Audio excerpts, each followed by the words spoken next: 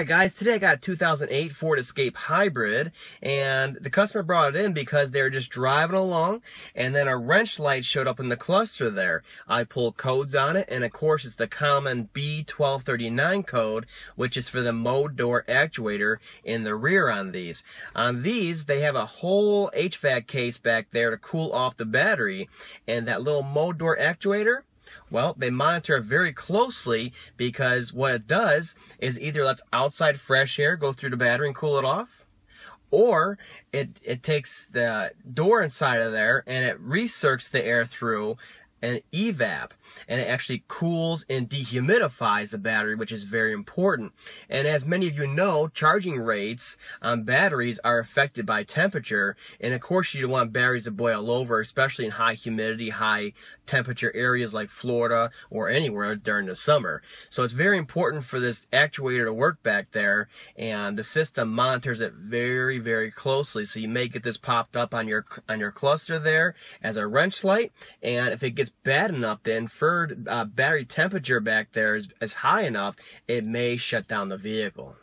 Now these actuators fail all the time. Even the new ones we've put on in the past, we've had customers come back two, three years later and the actuator has failed again. And they've gone through multiple revisions on there. Actually the TSB says for an E suffix is the latest one and the latest one actually right now is the F suffix. So, um, it's gone through multiple revisions and hopefully with this F, this one's been out for a while. This is like a final repair on there. F for final, right? And it'll it'll fix it permanently there because it's not really doing too much back there, but it is failing internally and once it does, it'll it'll set that light like that.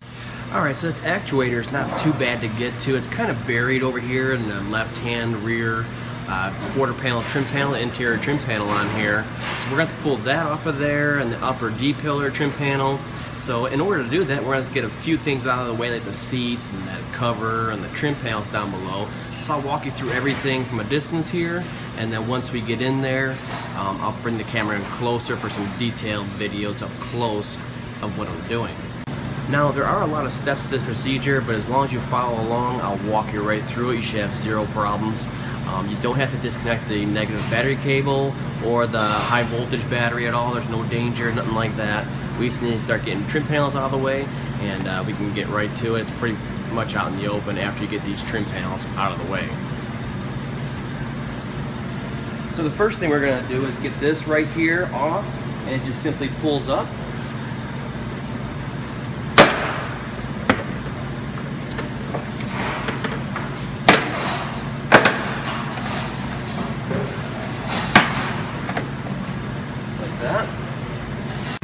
And get this cover out of the way.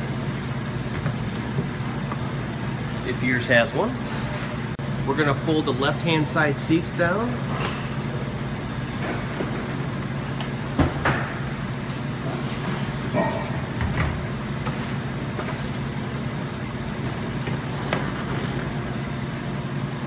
And then we're gonna pull the carpet out of the way.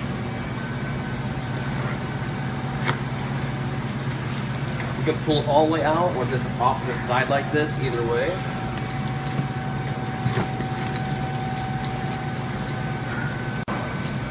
And then we're going to start pulling the uh, trim panel, the interior trim panel right there off. Again, no screws. All you got to do is start popping the clips on there to be careful. You may want to use a pry tool behind there or pop the actual clip and not yank on the uh, um, trim panel so much. They're pretty stout clips on there.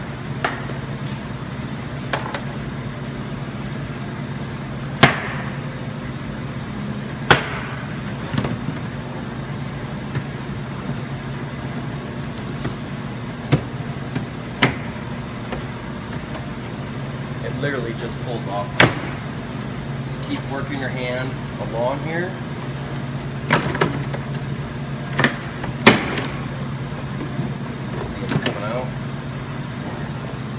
Now over here to get the rest of this uh, quarter panel trim panel off, the one retainer it has is right here and that's part of the door sill plate here and you just simply have to get in there with a pry tool of sorts, cat claw, and pull this up and out of there. It's pretty brittle, you might break it. I was able to get mine out without breaking it.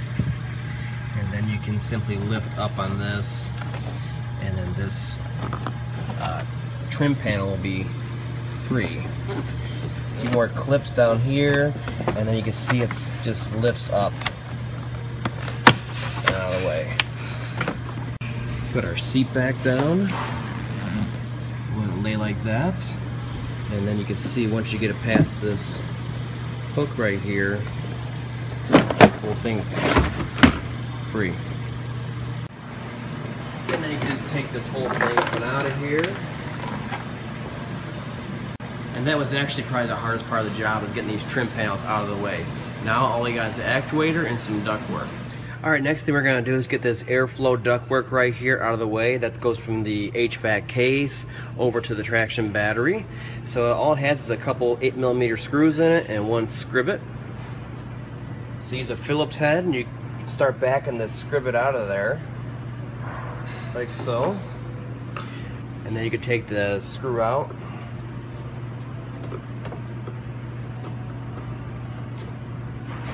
And it looks something like that. Besides that, there's what, four 8 millimeter screws to take out.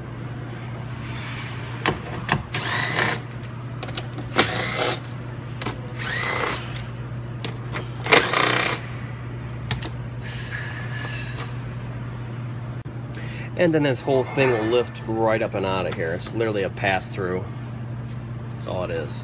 All right, next thing we're gonna do is pull the fresh air inlet ductwork out. There's two uh, 10 millimeter nuts right here and over here. Goes out.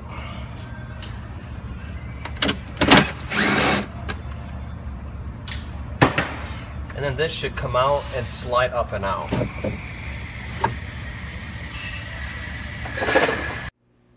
Okay, so apparently there's a section of video that's missing detailing to unbolt the box from the body and the way you do that is a 10 mil bolt right here and there's a 10 mil bolt right here and then a little push pin and then you can proceed with the rest of the video and taking it apart from the body.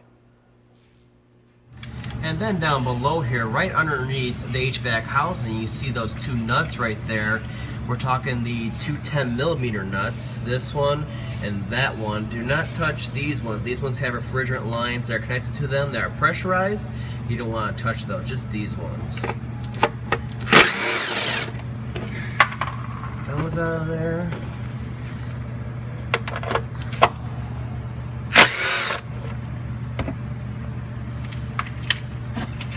Box should be nice and free since we're not bolted to the body anymore.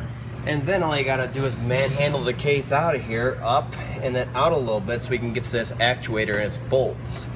I like to put the bracket up here, this big bracket, sneak it past the case and get it over here and then you can get underneath here,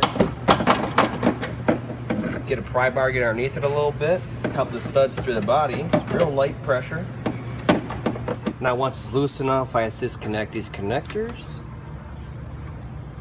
get them out of the way, and then you can see with it up and out of there, we can get access to all three of these bolts on here, which are 5.5 millimeter. And the whole reason we had to do this was this back one right here, it's too close to the body, whereas the rest of them are accessible. So let's take those out of there.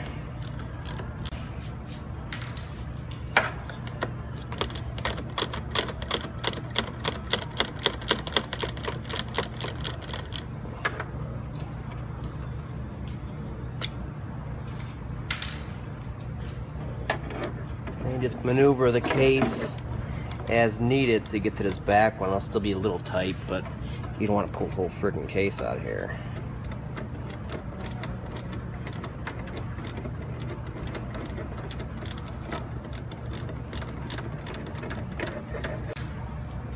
And then this actuator simply slides out of here. Like so. You see it's loose now. So we're gonna go down here. There's a little tang right here for the electrical connector. Disconnect that, get that out of the way.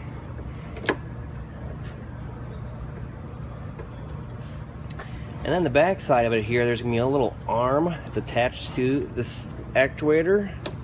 Just slide it off it, that stays on. There we go. And got the old actuator out of there. Put our new one in. And we're gonna slide it into this arm on here real quick. You can see it right there. Just line up the slots in the actuator with the arm and put that through first and then we'll stick it into the case. There it goes, slid right in.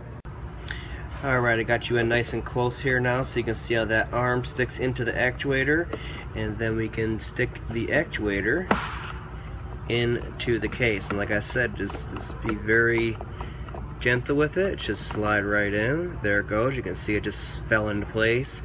Now once the actuator falls into place, just slides right in. First thing you got to do is line up this cross down here and then the rest of the bolts will line up. So you can see it's already in there. So you push it in and then I'll line up everything else on here. And then of course, once your cross down here is lined up, all the rest of your bolt holes will line up. Everything should slide right into each other uh, very freely like that. All you gotta do after that is put your three screws back in. Of course. Bolt her back up. Now of course don't forget your connector for it. Clip that into it. Push it until it clicks. And then we'll get these connectors back together before you forget. Next thing we gotta do is get this case back flush to the floor, which means we need to get those two studs that we pulled up and out of here earlier uh, for the nuts underneath back through the floor, because right now the case is so high, they actually popped out of the two holes in there. Just gotta move it around a little bit and you'll feel them start falling back into place. The back one fell in already. And we need to find the hole for this one. There we go. It all fell back into place. Get your bracket over in front of the screw hole here so we can bolt it all together.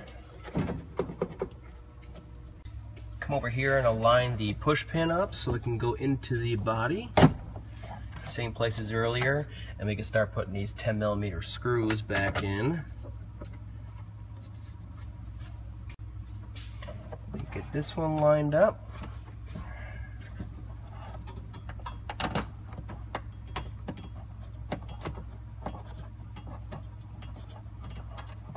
And then before I bolt these in, tighten them down, these two screws, I go down below and I do those two 10 millimeter nuts took out earlier from the evap case. I cinch those down first, and then I come up here and finish these. We'll get our ductwork back in there. Slide right in. Get down in there a little bit. Two nuts. One up top, one the side, same as earlier.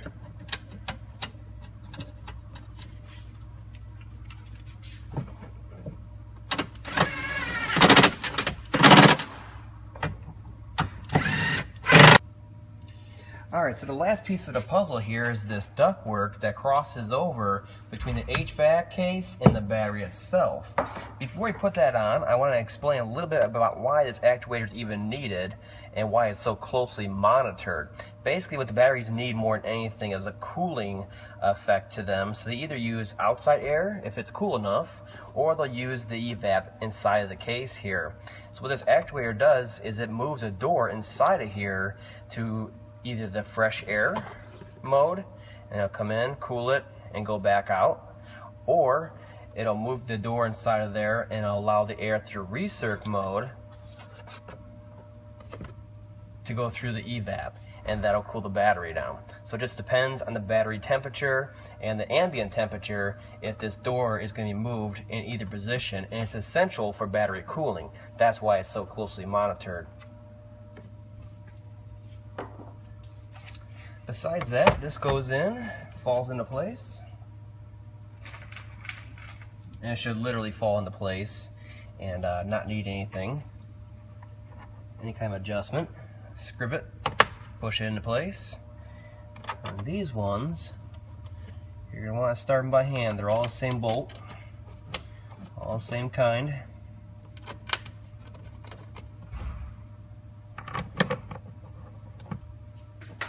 Then we'll just tighten that.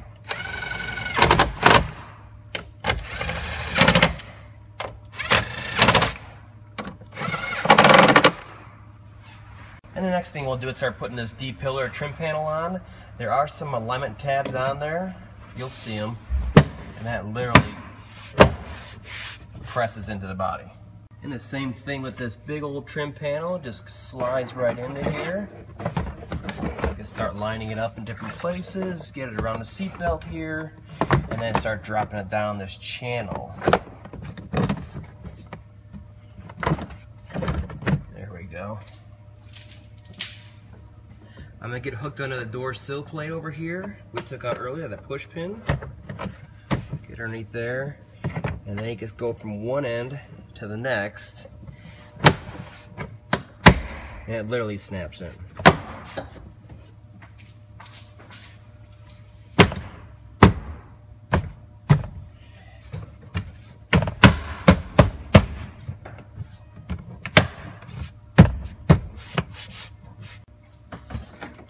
Carpeting back. Tuck it in. There we go. Put your cover back in if you have one.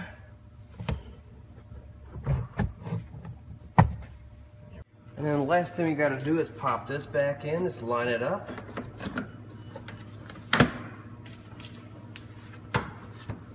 Kind of feel it.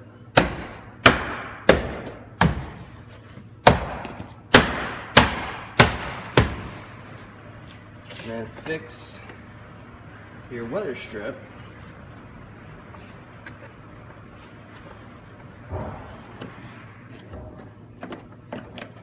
Just kind of pull it out and lay it over it.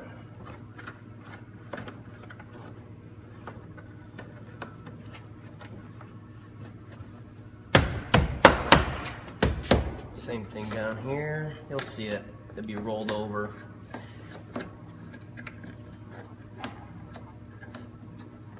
There we go. All right, so hopefully this helps. I like to get these videos out as they come in. We don't see the hybrids too much anymore, but there are a few common faults on these that in the hybrid systems that are fixable by the customer if you're mechanically inclined. Or if you want to bring it to the dealer, at least you'll know what we're talking about and what we're fixing on here, so you're definitely well informed.